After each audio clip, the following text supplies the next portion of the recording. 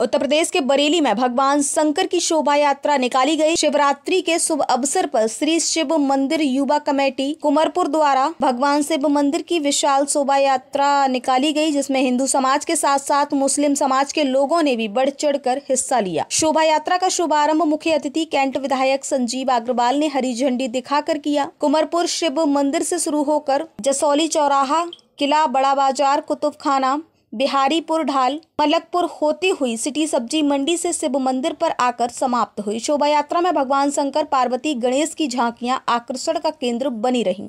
यात्रा में भारी संख्या में महिला, पुरुष, बच्चे, लोग साथ में चल रहे थे।